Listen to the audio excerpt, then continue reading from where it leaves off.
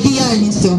Не він давав нам зброю. Ми її складемо, коли не буде на нашій країні, на нашій державі одного окупанта. Не вони давали нам зброю. Ця зброя захоплена ціною життя наших добровольців. І ми її складемо лише тоді, в цьому випадку, коли окупанти підуть з території нашої країни. Президент, ви не там шукаєте ворогів.